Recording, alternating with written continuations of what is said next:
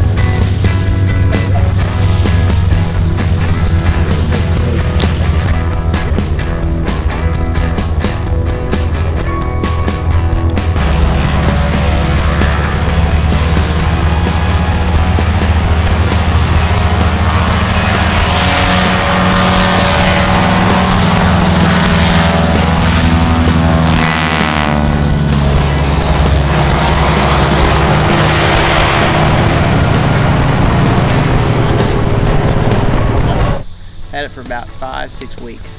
So, Having fun with it? I am. I love it. Flew back from Cincinnati actually. Did you really? Wow. How many stops you have to make? Uh, it ended up being about five because of weather. Oh. On Labor Day weekend, I, I wasn't was able just thinking, come. two, uh, there, were there two five gallon cans back there or one? Yep. Yep. Two five gallon cans. Okay, that's 10 gallons. Yep. And it burns what an hour? For, About three and a half. Yeah. So it's about little, the same as a cub. yeah, yeah, a little over two and a half hours. Well, it looks like a lot of fun. It is. It's great. I love it.